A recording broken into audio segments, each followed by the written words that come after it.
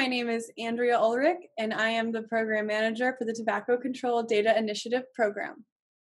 So, we recently got back from a South Africa assessment where four of us uh, were able to interview key stakeholders both within government, academia, and civil society. So, one of the things we found is that many of our stakeholders talked about the importance of having data in an easy to understand, actionable format.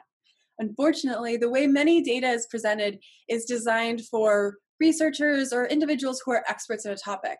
However, for government stakeholders who are often trying to balance many different priorities, it's hard for them to understand very technical information that's presented to them incredibly quickly.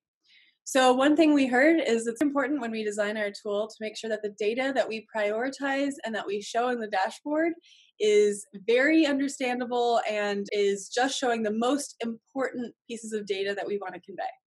Another key finding is the importance of data for e cigarettes. As many of us know, e cigarettes are a relatively new product on the market. They're not tobacco products, but they are manufactured in many cases by the tobacco industry. And they contain varying amounts of nicotine, which is an addictive chemical. Many researchers and civil society organizations don't understand or know the prevalence of how many South Africans are using e cigarettes. And they're also trying to get data on the health impacts of what happens when individuals smoke e cigarettes. So, we've definitely heard the importance of gathering data and understanding next steps about e cigarette use, and if possible, the need for regulation. Another frequently mentioned topic in our assessment interviews was about illicit trade. Basically, there's a problem in South Africa and many countries where boxes or cartons of cigarettes are being sold but aren't being taxed as they should be legally. This causes a big problem because the South African government isn't getting the revenue it needs to fund health and other social programs.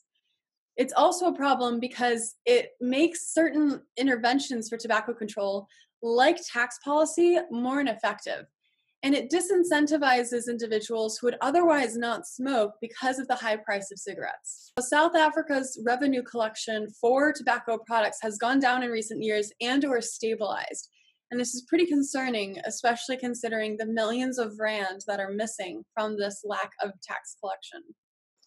During our interviews in the assessment, we frequently heard from individuals, particularly within government and civil society organizations, that it's important for South African decision makers to be able to get data that's from their country. In other words, local data. That's considered the best case scenario. And that's when they'll know that they'll be able to make decisions based off of relevant data.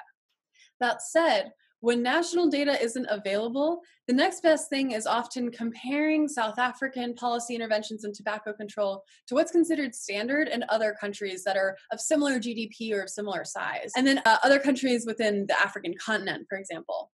Policymakers talk about how they want to know what other countries are doing. So that's something that we heard and planning to incorporate into our design of the dashboard we'll be building.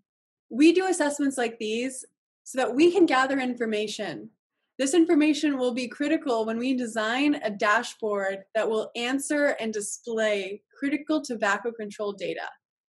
And by referencing this dashboard, stakeholders in the South African community, including within government and civil society, will be able to reference it as a trusted source of information. And by doing so, they'll be more effective in their work to help South Africa be healthier and happier in the future.